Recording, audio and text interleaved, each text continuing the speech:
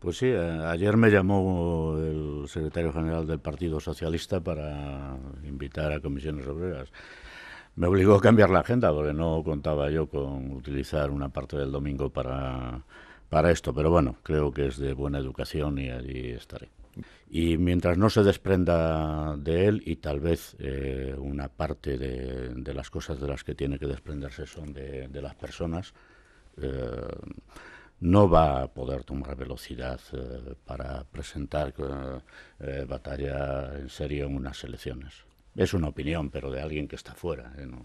Es casi una andanada, si me permites. No, no quiero yo que esta charla sea sobre la conferencia política porque sería hacerle trampas, pero ya que me lo ha dejado, es una andanada al actual secretario general. No, al secretario general Nobel eh, le tengo aprecio personal, pero eh, mire, esto no sirve para construir proyectos eh, políticos, ¿no? Y el socialismo, no solo en España, en Europa, si de algo se le puede acusar es de, de estar ausente en un momento de debate crucial para el futuro de la Unión Europea, coincidiendo con los años más duros de, la crisis.